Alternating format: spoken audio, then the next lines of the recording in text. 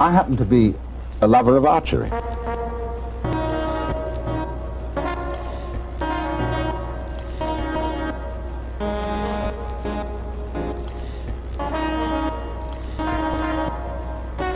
But I don't like archery for killing things. I like it as a sport.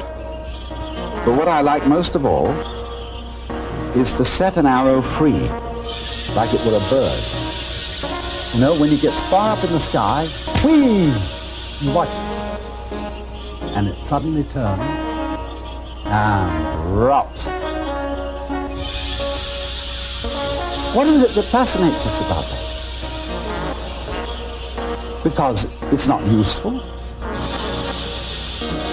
It doesn't really achieve anything that we would call purposive work.